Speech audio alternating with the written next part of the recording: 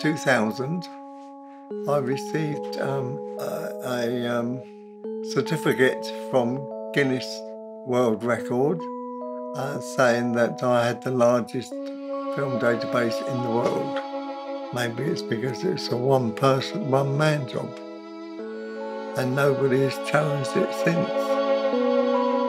It was never looked at like this will be my great success in life. It was just another thing that I did.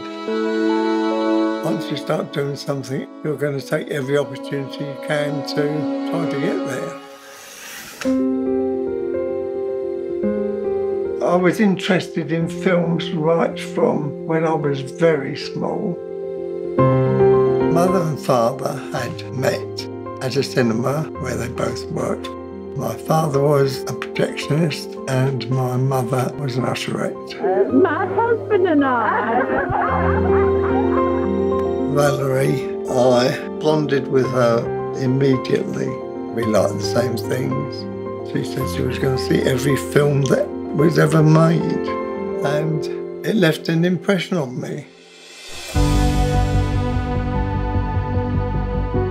I always liked to be the man banging the big bass drum in the middle of the band, to always being the old one out. She came to my party. That's when I first kissed her. You use the term soulmates, and that I felt that we were soulmates.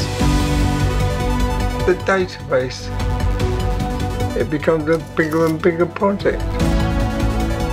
Every country that has made films, Norwegian film, German film, Swiss film, Italian film, I've got a book on the subject. I believe in education and it should be available to everybody. I haven't got anything left on the bucket list there. I give them the go! it's like a little woodland glen that's just for me. It'll still be there in the future. It's leave no marker. How do you know it exists? It says on Amazon.